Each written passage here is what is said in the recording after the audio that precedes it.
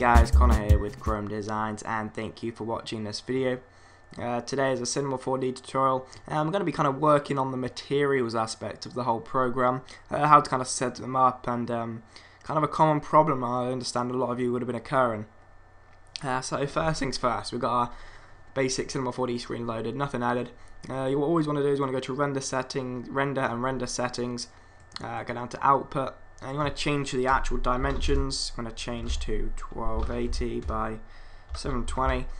Uh, I'm going to use. I'm just going to do all frames.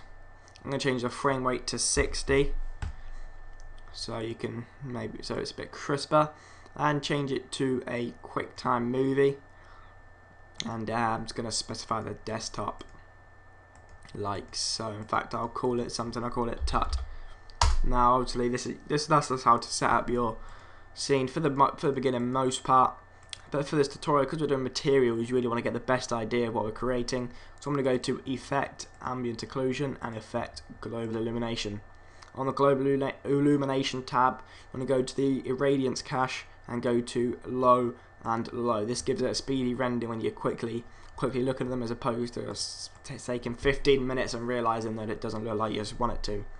And then to Ambient Occlusion, I'm going to go to Maximum Ray Length put it up to 145 and just add a bit of contrast about 30 okay so we've got our render setting set up and we're good to go. So it's going to go to MoGraph and text object. And this is going to be our text.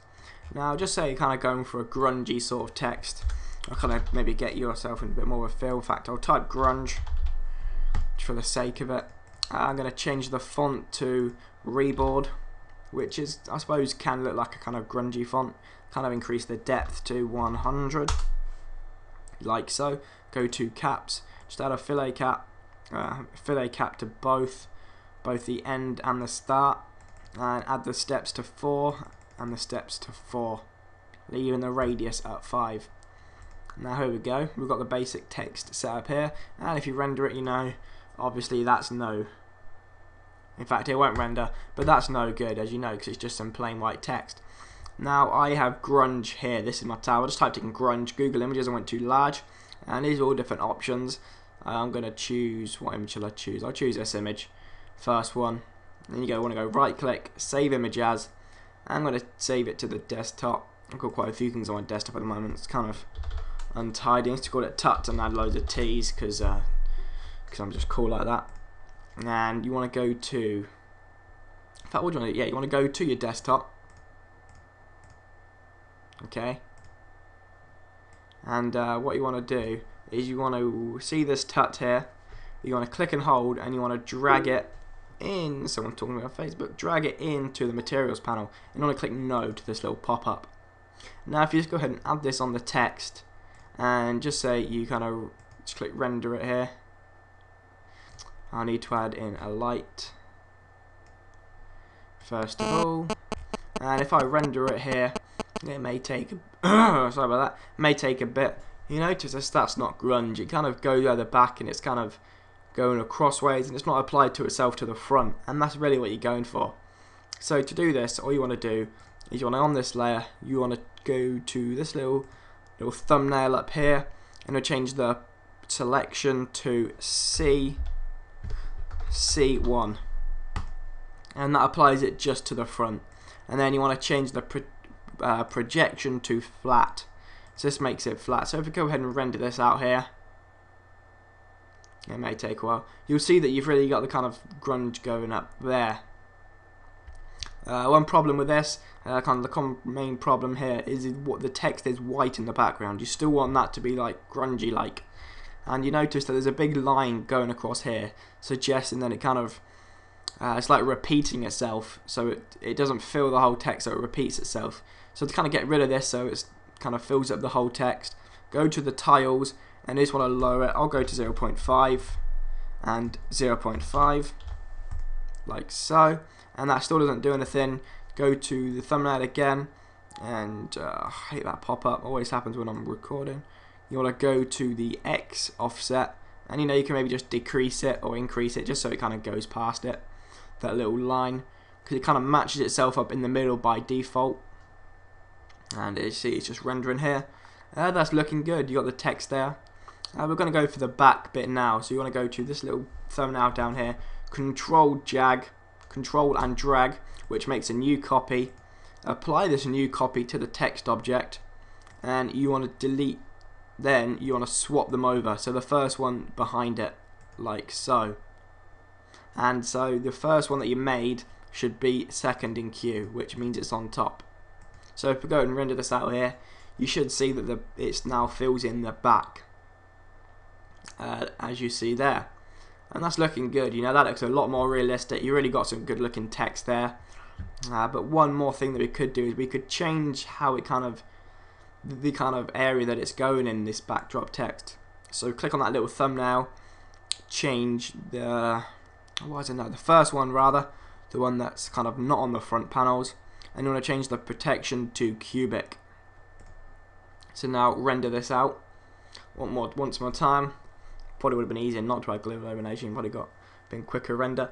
But as you see there, it kind of looks like it's in a 3D text, and that is looking a lot better.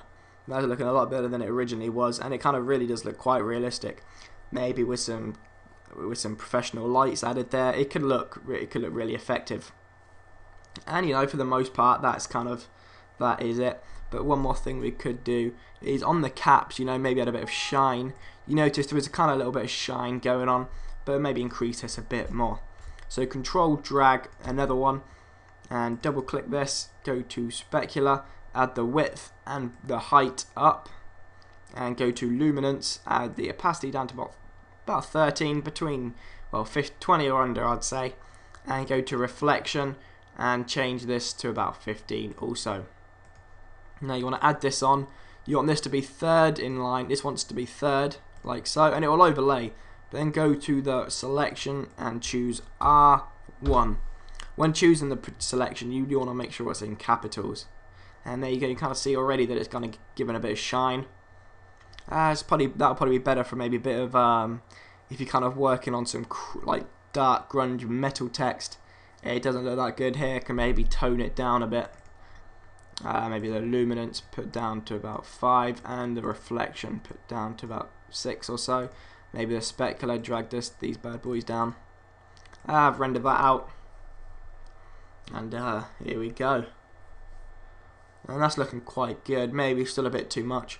But that's how to kind of create some grunge textures in Cinema 4D.